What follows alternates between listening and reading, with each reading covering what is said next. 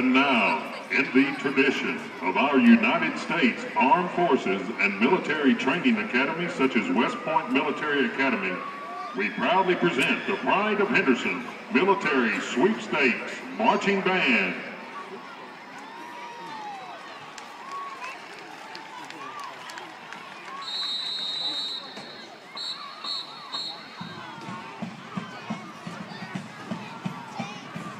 Each Friday night's halftime performance is in preparation for the band's performance and evaluation at the UIL Marching Contest October 22nd at Stephen F. Austin State University's Homer Bryce Stadium.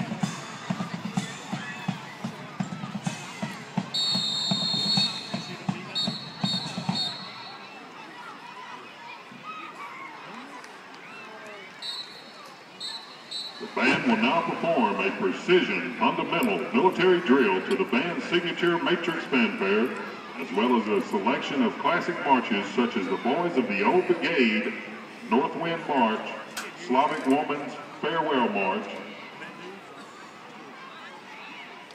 arranged by Dr. Timothy Rhea, band director of the Texas A&M Fighting Aggie Band. Ali Petita and Taylor Duncan, you have command of the It was even worse when we got over there. What's up with the refs today? Did you see that bad call, that bad personal foul call? Oh, yeah. Everybody at the press box said we should have it.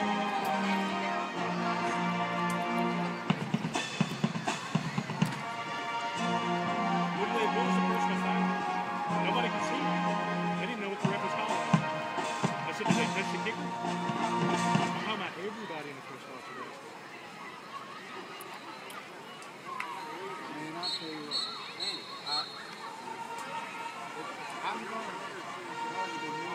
I, I feel like I'm going to say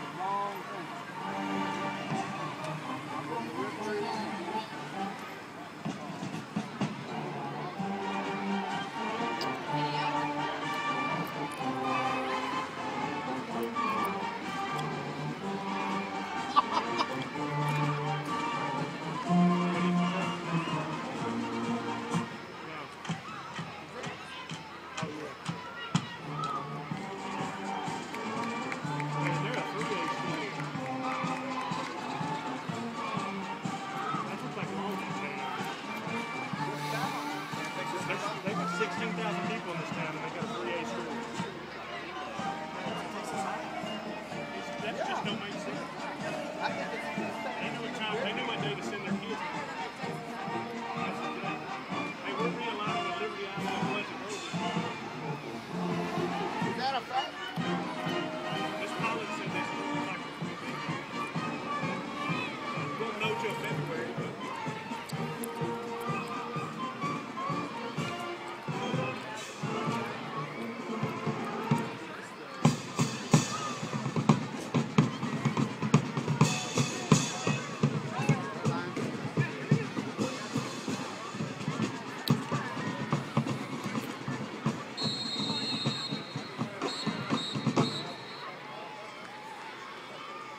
band will continue their performance with the March North Wind, Slavic Woman's Farewell March, and the trio to the March Purple Pageant.